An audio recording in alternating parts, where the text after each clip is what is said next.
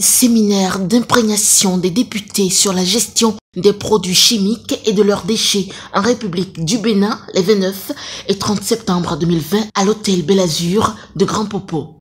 Ensemble avec les cadres de l'administration, ils ont réfléchi et échangé sur une proposition de loi devant encadrer la gestion de ces produits et leurs déchets au regard non pas seulement de l'accroissement de leur production et de leur commercialisation, mais aussi du risque qu'ils comportent.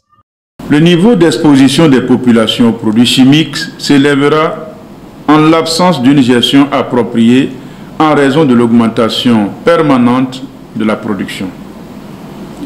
En dépit de ce danger, de plus en plus de pays africains, dont le Bénin, importent des produits chimiques et des produits contenant des matières chimiques dans un contexte national marqué par la libéralisation au plan international du commerce et la création de zones industrielles de libre-échange, le manque de moyens pour l'évaluation et la surveillance des risques liés aux substances chimiques et aux produits contenant des matières chimiques, le développement des pratiques inquiétantes d'importation illicite, de fabrication et d'utilisation de produits chimiques dont l'utilisation est interdite ou qui sont sous restriction d'utilisation dans les pays industrialisés.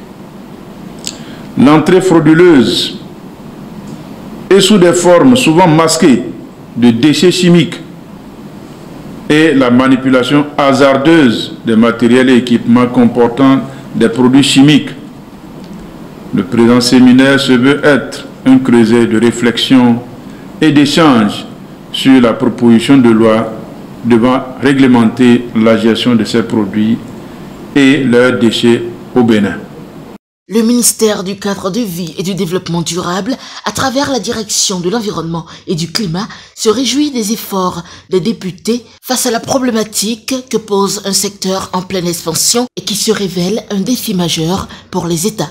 La mauvaise gestion des produits chimiques et des déchets représente une menace importante pour notre environnement et pour tous les compartiments de l'environnement, à savoir eau, air et sol, les écosystèmes, faune et flore.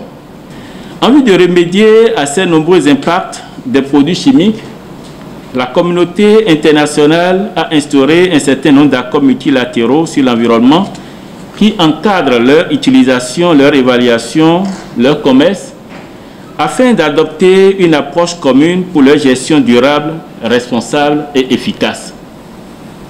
Je voudrais ici saluer tous les efforts fournis dans ce sens au niveau de notre Assemblée nationale qui a vu l'urgence de ces accords, des fois l'opportunité et a mesuré parfois le prix de l'inaction en ratifiant les différents accords multilatéraux dans le domaine de l'environnement. La commission du plan et de l'équipement, saisie au fond pour l'étude de cette proposition de loi par ses travaux, a outillé les députés pour la bonne assimilation des contours de la dite loi. Retour sur quelques séquences des échanges au cours de ce séminaire. Mon problème, c'est que en tant que parlementaire, cette nouvelle loi, pour moi, est-ce qu'on peut dire que ça va être une loi de plus ou de trop? Où ça doit nous interpeller en tant que parlementaires, encore une fois sur notre prérogative, notre deuxième prérogative qui parle du contrôle de l'action gouvernementale. Si c'est les lois, je pense que nous le faisons très bien. Nous les prenons tous les jours. Mais mon problème, c'est que je m'interpelle moi-même et je lui dis, nous devons nous interpeller en tant que parlementaires. Le suivi, l'application de ces lois. Qu'est-ce que nous faisons du contrôle Qu'est-ce que nous faisons pour aider nos populations à se préserver Vous voyez, les dépôts sauvages dont on a parlé tout à l'heure, à des moments vous passez devant un dépôt sauvage et vous entendez explosion. Tout simplement parce que la décomposition a commencé. Mais quand ça explose comme ça, ça déverse quand même quelque chose dans l'environnement. Et, vous passez, vous avez peut-être que vous avez déjà quelque chose par inhalation, ou bien c'est dans l'atmosphère et nous, Maintenant, qu'est-ce qu'on fait pour que ces dépôts sauvages, là, comme quelqu'un dit tout à l'heure, soient soumis à un contrôle de manière à ce que nous-mêmes, nous n'organisons pas, nous ne conservons pas ce qui nous tue à petit feu. De l'utilisation de l'engrais chimique dans l'eau qui déverse ou qui pollue nos, nos rivières ou qui euh, le sol. Parce que cette question-là, pour avoir été un peu, pour avoir côtoyé le ministère des gens de et autres, les gens étaient frileux à aborder ce genre de sujet. Parce que nous sommes de la mouvance, notre président était le patron ou demeure pratiquement dans le domaine de ces productions-là, de traitement, enfin, d'importation des engrais, de l'utilisation de l'engrais on est un peu fluvé à dire il faut proposer une loi parce que ça fait mal, l'utilisation va faire mal. Je suis heureux que l'initiative vienne maintenant de, de, nous et que nous soyons prêts à affronter cette question-là pour, pour montrer à tout le monde que ce fléau n'est pas un problème personnel et que le chef de l'État lui-même est préoccupé avec de l'ordre dedans. Est-ce qu'il existe au Bénin des normes? C'est-à-dire que quand on dit euh, agriculture, chimie, euh, respiration, chimie, pesticides, chimie, est-ce que nous avions au Bénin des normes Une celui qui s'occupe des normes de pesticides, là, quel est le taux qu'il ne faut pas dépasser pour dire chimie là? Tout est chimique pratiquement. Est-ce que nous avons des normes au Bénin, homologué Est-ce que nous avons des normes dans la sous-région homologuées? Moi, c'est ça qui me préoccupe. Aujourd'hui, bon, c'est ce qui se dit. Hein. Est-ce vrai que la, propagation de la pierre thyroïde aujourd'hui est euh, due à l'usage de ce pesticide-là Si oui, qu'est-ce que nous faisons? Est-ce que nous pouvons revenir au bio?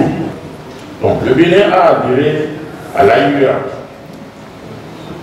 Ça a été dit. Est-ce que l'adhésion à, euh, à cette agence-là, une convention internationale, ne nous bloque pas dans l'usage du nucléaire après pour des fins médicales et de développement? Nous avons nous appartenons à une communauté. Et je voudrais savoir comment des produits qui sont rejetés ailleurs peuvent-ils être acceptés et utilisés sur nos sols? Je prends par exemple euh, euh, ce produit-là qui a fait l'objet de beaucoup de débats en Europe, le glyphosate, on a entendu tellement de choses, mais euh, notre ministre de l'Agriculture a dit que les, résultats des travaux ne nous amènent pas, nous, à adopter la même situation que certains nombre de pays.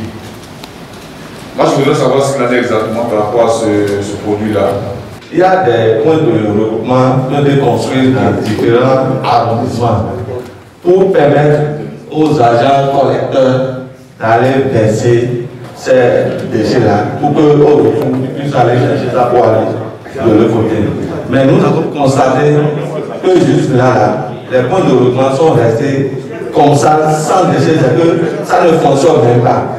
Et comme l'a dit l'autre là tout à l'heure, ils viennent chercher le truc et aller déverser sur des terrains appartenant à autrui. C'est que, est-ce que ce que nous faisons ici, ici prend en compte tous ces paramètres? Pour cette loi, est-ce qu'on a fait attention à ne pas se tirer entre les pattes Parce que les autres pays ne sont pas dupes. Hein. Vous allez aux États-Unis, il y a des conventions que les États-Unis ont refusé de signer jusqu'aujourd'hui pour protéger leur industrie, pour protéger leur économie. Nous, nous sommes un pays pauvre et aujourd'hui, nous n'avons presque que nos produits, le coton et les produits vivriers. Alors, est-ce que cette loi qu'on vient de prendre là n'apporte pas de petits détails pour nous auto-flageller? Au terme du séminaire, un rapport a été délivré. Les travaux ont été marqués par deux communications. La première a porté sur la gestion des produits chimiques et de leurs déchets, présentée par Mme Mouril Elek Bédé, en service à la Direction générale de l'environnement et du climat. Elle a entretenu l'assistance sur l'importance des produits chimiques, la problématique de la gestion des produits chimiques et les accords multilatéraux en lien avec les produits chimiques. Le député Barthélémy Kassa, président de la commission du plan, présentait la deuxième communication relative à la proposition de loi portant gestion des produits chimiques et de leurs déchets.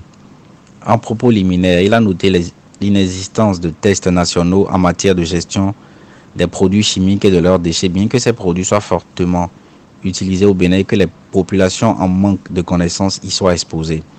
La loi portant gestion des produits chimiques et de leurs déchets en République du Bénin pour l'inévitable encadrement de ce secteur crée des obligations aux acteurs à tous égards et une réglementation juridique et institutionnelle bien solide avec à la clé des sanctions administratives et pénales.